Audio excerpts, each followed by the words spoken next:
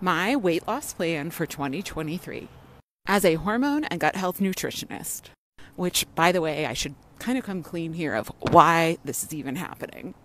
I'm going to Greece, and I'm really psyched about it, and I want to feel really great in my skin. I want to take photos while I'm there and not hide my body. And yes, I want to wear a swimsuit and feel good. I haven't even decided if I'm actually going to use the scale as a measure or just my clothes. But the point is, I am focused on slow, easy, sustainable, and intentional weight loss, which starts with my body feeling safe enough that it can release weight. How does your body know it's safe? It all has to do with stress and inflammation. First and foremost, I'm prioritizing sleep. Y'all, I went to bed at 8 p.m. last night and woke up at 6 this morning. And my body truly feels best when I get between 8 and 10 hours of sleep. Two, I am not doing intense exercise. Not because I can't, I can and have had periods of being very good at intense exercise. But workouts like Orangetheory and CrossFit and F45 and HIIT training all tell your body that it's dangerous.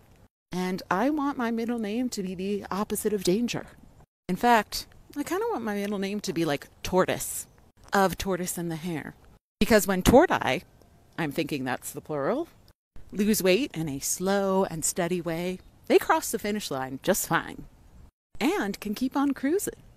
Next, I'm keeping my toxic load low.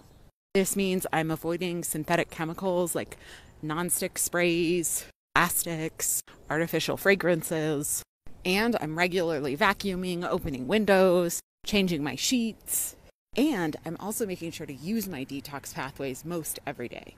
That's pooping, hydrating with filtered water and minerals, sweating, and taking deep breath. Next up, I'm tweaking my meals and snacks. I am placing a lot of emphasis on leaner protein sources like white fish, skinless, boneless poultry, lean ground beef, a high quality bone broth protein powder, or grass fed beef isolate.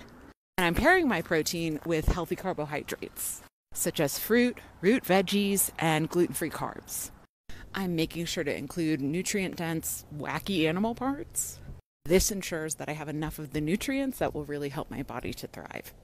That's things like gelatin, bone broth, and organ meats. I am not consuming lots of nuts and seeds. I am also not consuming a lot of beans and legumes. And I'm getting fat from healthy sources such as fruit and animal. Let me know if you want a part three.